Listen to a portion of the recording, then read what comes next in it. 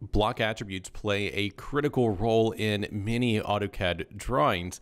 But when it comes to updating a bunch of block attributes at once, the process can be as tedious as it is time consuming. In this video, I'm going to share with you a super easy way to batch update block attribute values using Microsoft Excel. So in this scenario, I have a floor plan that has a series of room tags. And what I'd like to do is change the numbering convention from room 190 to 1090, and the same throughout the entire floor plan here. So in order to accomplish this, I'm going to pick on one of the room tags. I'm going to right click and use the really, really awesome select similar tool, one of my favorite commands in AutoCAD. And that is going to select all of the room tags in my drawing. Now from here, I'm going to navigate over to the Express Tools tab and under the blocks panel, the super awesome command that we're going to be looking for is export attributes. So for command line folks, you can type in ATT out. Now what this is going to do is allow me to create a text file, a tab delimited text file.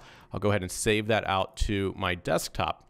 And what I can do with this is jump over to Excel and import that text file into a new Excel spreadsheet. So this is just a tab delimited file, and here are all of my block attribute values. Now, with just a little bit of Excel formula voodoo, I can do something like minus 100 plus 1,000, enter, and there is my room number. And what I'm going to do is just copy and paste this over like so and fill the formula down, just basic Excel stuff.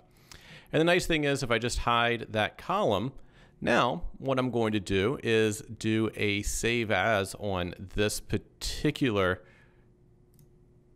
Excel spreadsheet. And I'm going to save this as a text tab delimited file here. And I'll just save it out to my desktop. Doesn't matter what you name it. And now if I come back over to AutoCAD, I can use the other half of the command, which is import attributes. So I'm going to zoom in so you can see the change here. If I come here to import attributes, I can go out and browse to the text file that I just exported, that book1.txt as it was named.